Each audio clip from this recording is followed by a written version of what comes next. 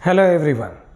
Myself Dr. Sancheti M D homeopath from Pune आज हम बात करेंगे स्किन की एक बीमारी लाइकेन प्लानस इस बारे में अब लाइकेन प्लानस ये एक ऑटो इम्यून डिसीज़ है ऑटो इम्यून डिसीज़ का मतलब क्या यानी कि इम्यून सिस्टम ओवर रिएक्ट करके या ज़्यादा बढ़ने के बाद जो शरीर में बीमारी होती है उसको ऑटो इम्यून डिसीज़ बोलते हैं। मतलब कि अपने बॉडी के सेल्स ही अपने बॉडी में डिसीज़ क्रिएट कर देते हैं, जिसको ऑटो इम्यून डिसीज़ बोलते हैं।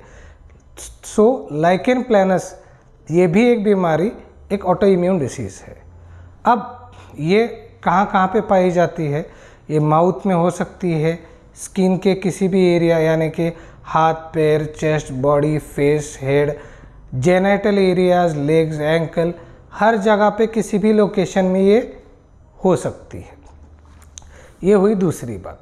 अब तीसरी बात, इसके साइन एंड सिम्टम्स क्या क्या होते हैं और इसका प्रेजेंटेशन कैसा होता है? देखिए लाइकेन प्लानस स्किन पे रहे, चाहे माउथ पे रहे, यानी कि म्यूकस मेम्ब्रेन पे रहे, चाहे सरफेस एरिया पे रहे तो इसका एक कैरेक्टरिस्टिक कलर है दैट इज़ पर्पलिश कलर यानी कि जामुन कलर का वो पैच रहता है।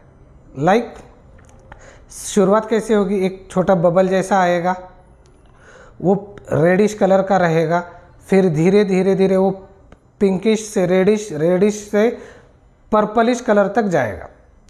और फिर वो सूख जाएगा। उस दौरान उसमें इन्फ्लेमेशन रेडनेस या एक ऐसा इरिथेमा यानी कि थोड़ा सा ऐसा वो फूल जाना, और उसमें पेन या इचिंग ये सब सिम्टम्स होते हैं। अगर ये बॉडी पे भी रहेगा तो भी बर्निंग करेगा। ये माउथ में यानी कि म्यूकस मेम्ब्रेन पे भी रहेगा तो भी बर्निंग करेगा। अब अगर ये माउथ में रहेगा तो कैसे सिम्टम्स आएँगे? तो हमने एक ऑब्ज़र्व क्या किया है? अक्सर पेशेंट आते हैं और बात करते कि डॉक्टर साहब दो चार साल हो गए, मुँह में छाले आते हैं और जलन होती है, लेकिन ठीक ही नहीं हो रहे। हमने विटामिन लिए, हमने खाना को चेंज किया, हमने लाइफस्टाइल को चेंज किया। लेकिन उनको ये पता नहीं है कि सात दिन से ज़्यादा अगर माउथ के अंदर कोई भी दिक्कत अगर रहती है और जिसके अंदर जलन इरिटेशन परेशानी या खाने में बात करने में दिक्कत होती है और उसमें अगर पर्पलिश कलर का जैसा स्पॉट रहता है, इसके अलावा अगर आप सुबह उठते हो और बिना माउथ मतलब ब्रश किए हुए अगर आप टंग ऐसे घुमा के निकालते हो तो हाथ पे एक सफ़ेद कलर का लेयर आता है मीन्स उस एरिया में लाइकन प्लानस होने के चांसेस है। ये एक हमारा खुद का क्लिनिकल ऑब्जर्वेशन है।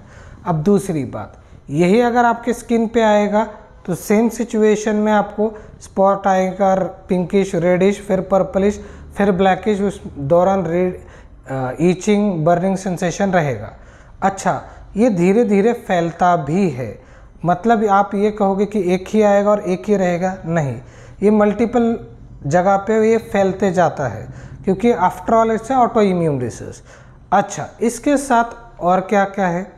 तो ऑटो इम्यून डिसीज़ होने के चलते अब भी आप सोचोगे कि इसके लिए कोई इन्वेस्टिगेशन है क्या? अब इसके लिए एज सच कोई इन्वेस्टिगेशन नहीं है। ये क्लिनिकली डायग्नोज करना ही ज़रूरी है। वजह, हमने बहुत सारे केसेस में हमने ये ऑब्ज़र्व किया कि अगर हम मान लीजिए बायोप्सी करके देख लेते हैं तो उसके अंदर आपको वही टिपिकल वर्ड मिलेंगे hyper keratotic lesion and all लेकिन वो सब चीज़ों में वो कॉमन ही होता है। मतलब अगर आप सोरियासिस का करोगे तो भी आपको वही मिलेगा। आप लाइकन प्लानिस का करोगे तो भी वही मिलेगा। मतलब आपको जो एक डायग्नोस्टिक क्राइटेरिया चाहिए, वो उससे उस लेवल तक नहीं मिलता। अच्छा दूसरी बात, ये जिन डॉक्टर्स को इसका एक्सपीरियंस है, वो आपको अच्छे से डायग्नोस करके आपको प्रॉपर ट्रीटमेंट दे सकते अच्छा तीसरी बात इसके अंदर और क्या होता है? अब इस दौरान ये डिसीज़ अगर स्प्रेड होने लग जाए तो इसको सबसे पहला ट्रीटमेंट ड्यूरेशन में पहले कंट्रोल करना ज़रूरी है, फिर उसको ठीक करना ज़रूरी है और उसके बाद इसको कॉम्प्लिकेट करने से रोकना ज़रूरी है। चलिए, आप तो बोलोगे कि डॉक्टर साहब, ये तो बात समझ में आ गई कि ठीक करना ज़रूरी है और कंट्रोल करना। लेकिन कॉम्प्लिकेट का मतलब क्या? कॉम्प्लिकेट का मतलब मेरे सोच से या मेरे स्टडी के हिसाब से ऐसा है after all it's auto immune disease देखिए, कोई भी ऑटो इम्यून अगर डिसीज़ एक बार बॉडी में आ जाता है, जैसे मान लीजिए हाइपोथायरॉयडिज्म ऑटो इम्यून डिसीज़ है सोरियासिस ऑटो इम्यून डिसीज़ है एसएलई ऑटो इम्यून डिसीज़ है type one diabetes auto immune disease है like lichen planus auto immune disease है rheumatoid arthritis auto immune disease है ankylosing spondylosis auto immune disease है, ऐसे बहुत सारे बीमारियाँ हैं। लेकिन अगर जैसे auto immune disease it's one sort of environment created in the body मतलब एक तरीके का टेंडेंसी बॉडी में ऑटो इम्यून डिसीज़ आने का अगर लग जाए तो हो सकता है एक के चक्कर में चार और डिसीजेस बॉडी में आए। तो दैट इज़ कॉल्ड एज उसको कॉम्प्लिकेशन से रोकना पड़ेगा। अब आप सोचो कि इसके लिए सोल्यूशन क्या है। साइन सिम्टम देख लिया, बीमारी क्या है देख ली, कहाँ होती है, ये देख लिया, सब तो क्लियर हो गया। अब इसमें ये बात समझनी होगी कि हाँ इसमें ट्रीटमेंट करने का भी तरीका होता है। वो कैसे? अब बच्चों में भी हो सकता है, बड़ों में भी हो सकता है मेल में भी हो सकता है फीमेल में भी हो सकता है। इसका कोई एज ड्यूरेशन फिक्स तो है ही नहीं। लेकिन इसमें ट्रीटमेंट प्रोटोकॉल जो है, देखिए दो तरीके के ट्रीटमेंट प्रोटोकॉल होते हैं। एक होता है सप्रेसिव थेरेपी एक होता है क्यूरेटिव थेरेपी सप्रेसिव थेरेपी का मतलब ये होता है कि बहुत बार आपने देखा होगा कि पेशेंट्स हमें बताते हैं कि डॉक्टर साहब, हमने दवाई ली थी, ये डॉक्टर के पास से, इन हॉस्पिटल से, थोड़े दिन के लिए ठीक लगा, लेकिन जैसे दवाई बंद हो गई, वापस आ गए। मतलब क्या था कि कुछ ऐसी दवाई जो आपको टेम्पररी सोल्यूशन की तरफ़ दिख रही थी, लेकिन वो सोल्यूशन नहीं था, वो ऑप्शन था। देखिए ऑप्शन ये होता है जो आपको सोल्यूशन से शॉर्ट रहता है लाइक कि थोड़े दिन के लिए लिया और आपको बेटर लगा, लेकिन वो परमानेंट नहीं गया। और सोल्यूशन वो होता है जिसका मतलब ये है कि शुरुआत से धीरे धीरे कम होते होते गया और वो एक रिजॉल्व हो गया। अब भी अगर आप मुझे मेरा एक्सपीरियंस पूछते हो इन टर्म्स ऑफ़ होम्योपैथी तो वो ये है, हमारे पास बहुत सारे पेशेंट्स हैं those who are suffering from this lichen planus और वो बहुत लॉन्गर समय से था।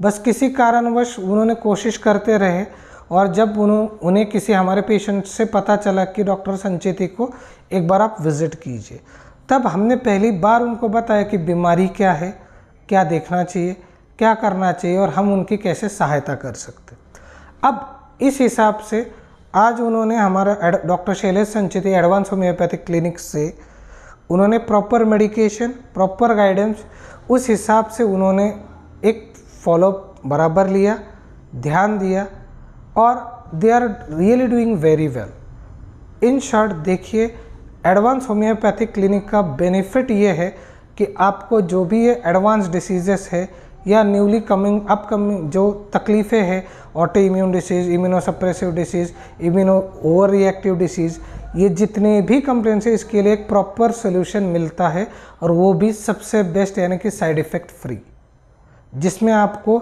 नए आने वाले लॉसेस या बीमारी से होने वाले लॉसेस को आप प्रिवेंट कर सकते सो so, उम्मीद करता हूँ मैं कि आपको लाइकेन प्लानर्स इस बीमारी के बारे में लगभग पूरी जानकारी मिल गई होगी।